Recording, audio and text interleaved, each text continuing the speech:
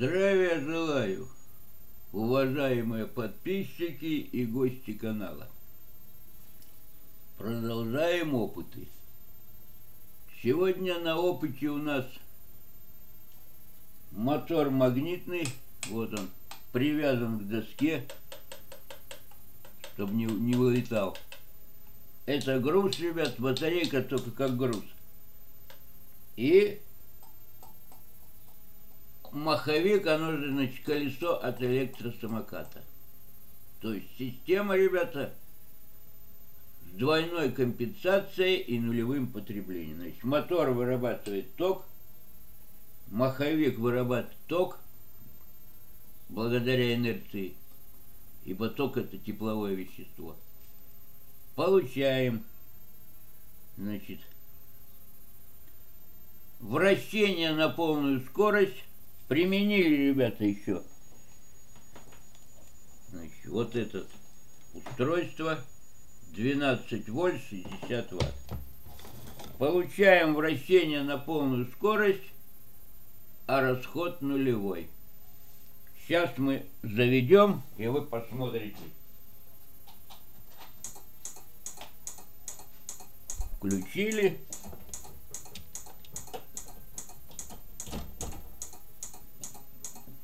Как видите, скорость бешеная.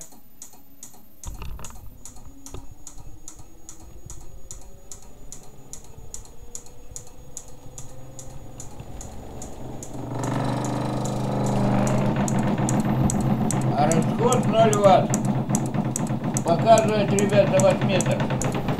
И также показывает счетчик.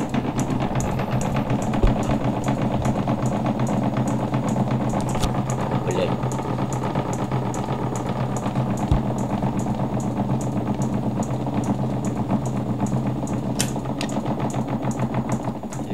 Сих пор крутится.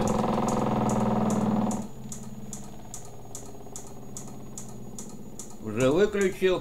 То есть проверили. Как видели, значит, расход нулевой, а вращение, видите, даже батарейку, ребята, выдернула. Батарейку даже выдернула. Ой, батарейку. Ну да, батарейку здоровую. Аккумулятор. В сторону свернула. То есть на полной скорости развивается. Как видели, значит, применяем на замеры ваттметр, который показывает 0, и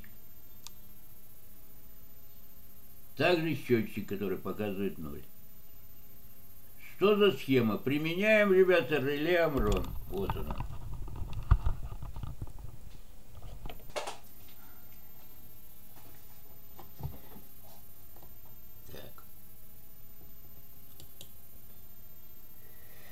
Итак, схема.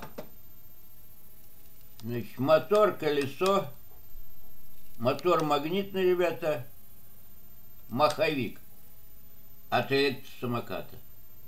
Мотор на 12 вольт 200 ватт на постоянных магнитах. Мотор от электросамоката. Мах, маховик это колесо от электросамоката. Зарядное устройство, значит, 12 вольт 60 ватт. 60 ватт. И реле Амрон, ребят, на десятая доли секунды. 0,1 десятая, 0,3 десятых. То есть по схеме Конарева, ребята, скважность, видите, в тройне. Если поставить на одну секунду на одну, будет колесо вращаться не на полную. А так оно имеет максимальные обороты, все равно, что мы включаем, ребята, напрямую, без реле. За счет чего? За счет того, что маховик дает ток и мотор магнитный. Покрутите магнитный мотор рукой, вы увидите, что он дает ток. А маховик, ребята, его крутит. Так что у нас получается двойная компенсация. Мы подали на одну десятую на этот зарядник. Он дал импульс, параметры, то есть запустил. А здесь мы уже, ребят, на своем токе работаем. У нас мотор магнитный вырабатывает и этот вырабатывает. подбавляя одну, один раз через три, через три десятых секунды. И видим, что у нас, значит, показывает ноль. То есть расхода нет, а ездить можно. То есть это уже можно применять на электросамокат. Ну, закрепить, значит, естественно, закрепить. Вы видели, что аккумулятор, который держит доску, его выворачивало. То есть мощь, огромная мощь.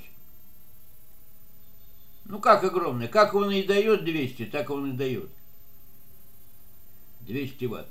Вполне нормально для электросамоката. И даже для электровелосипеда. Поэтому это уже, ребята, можно применять. За счет инерции. Но если вы подадите одну секунду и три секунды, оно будет работать медленнее в пять раз. То есть оно, инерция может, значит, уже остыть. Маховик остывает. Поэтому мы даем 0,1 десятые обращаем, 0,1 десятые и 0,3 десятые. И получаем, точно не вру, нулевое потребление, ребята. И это можно применять на электросамокаты, на электровелосипеды, а если по масштабировать, схему масштабировать, то и на электроавтомобили. То есть схема мощный мотор, ребята, работать на полной скорости с нулевым потреблением. То есть рептилоиды опять проиграли. Благодарю вас за внимание. Всем удачи и стального здоровья.